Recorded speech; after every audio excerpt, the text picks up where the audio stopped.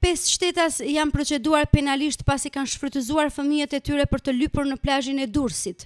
Fëmijët i takojnë moshës katër deri në shtatë vjeç. Policia thotë se kishin ardhur në mënyrë të organizuar nga qyteti i Beratit.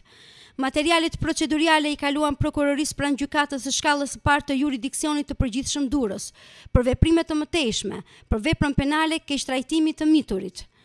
Policia e Durrësit apelon për prindërit dhe qytetarët që të mos shfrytëzojnë të miturit për veprimtari ekonomike të papërshtatshme me moshën e tyre, pasi përveçse bën një paligjshmëri të dënueshme nga Kodi Penal, ky veprim dëmton dhe shëndetin psikoemocional të fëmijëve.